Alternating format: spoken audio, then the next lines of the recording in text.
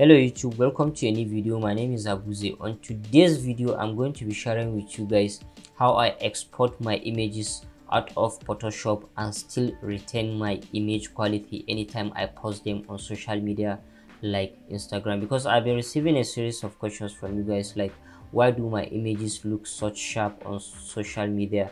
To be honest with you guys not all these images are sharp straight out of the camera because i usually apply some tricks which uh, boost the sharpness and textures of my images before i export them out of photoshop. And these tricks as well uh, limit the compression which social media usually does to your images and reduce the quality of uh, of your images while uploading them on any social media platform. Most uh, most especially uh, instagram and rest so without any further ado let's jump into photoshop and see what these tricks are.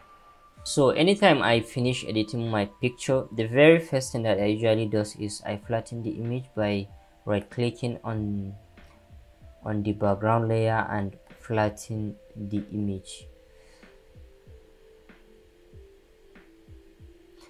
So after flattening the image the next thing that i will do is i will uh, go to uh, my frequency separation action and play them again. Not that we are going to do frequency separation again but we are going to uh, uh, use the high fs of the frequency separation action layers. This high fs that you're seeing. So what you are going to do is we are going uh, we are going to drag it out of the frequency separation folder and then we delete the other layers. Let me zoom, in and see. So if you do before and after you see how it adds sharpness and then details to our image. But this is too intense and we don't want it to apply all over the image. What we do is i will add layer mask to the image and then i will press ctrl or command i to invert and hide the effect uh, the effect of the high fs the next thing that i will do is i will go over to my normal brush tool make sure i'm on white foreground. And then i brush on the areas where i want more sharpness and texture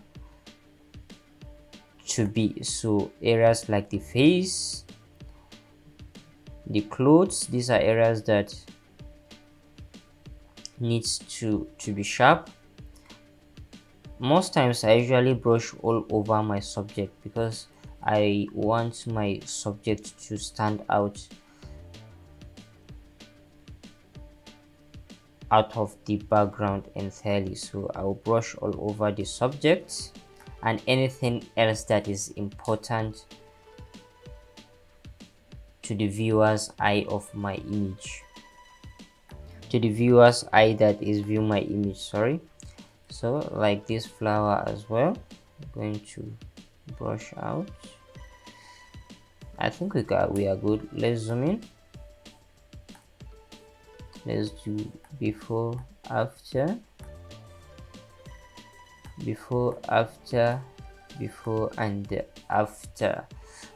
And i usually keep the opacity between around 30 to 50 so for this image let's try 30 and see.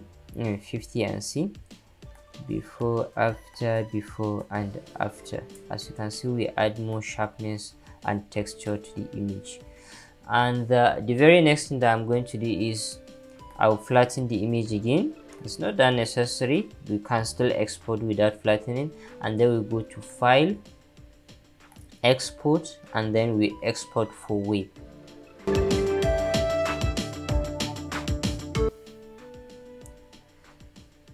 so actually this is where the uh, second trick is. I always export on png 24 because uh, the biggest advantage of png over jpg is that the compression is lossless meaning there is no loss in quality. And uh, png also handles detailed and high contrast images as well. So i usually export with png 24 everything remains at its uh, as it is. Transparency checked interlace unchecked and then embedded color prof uh, profile unchecked as well. And then uh, another most important thing is you are going to make sure you check convert to adobe srgb and then the final thing that i'm going to touch here is i'm going to uh, go over to my height here and then i change it to 1500 that's 1500 and then i hit enter. The png size is uh, a bit higher than the jpg but it's not that much that uh, that you worry about. And then we hit save and then we navigate to where we, keep, we want to keep the image desktop and then we go for save. So basically that's the tricks i usually uh, apply on my images anytime that i want to export to retain my maximum image quality. If you like the, the video please hit the like button subscribe and don't forget to turn on post notifications so that you won't miss any of my latest content. Thank you for watching